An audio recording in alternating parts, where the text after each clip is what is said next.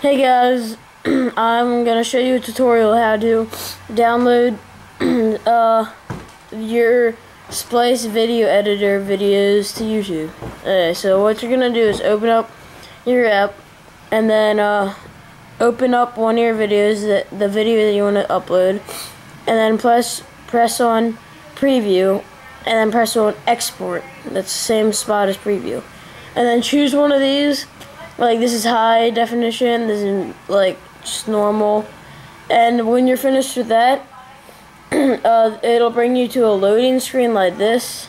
I'll show you, like this, and it says, I don't know if you can read it, but it says locking, switching, application, or well, it just ended, but it doesn't really matter. After you just let that load, it says rendering is complete, and it means that your video is now saved onto your camera roll. So you're gonna want to open up that, and then right here in this corner, you're gonna open up your camera roll, and here's your video. You're gonna click on that, and then press send to YouTube, and then you type in your title, and all you have to log in and stuff, and there you go.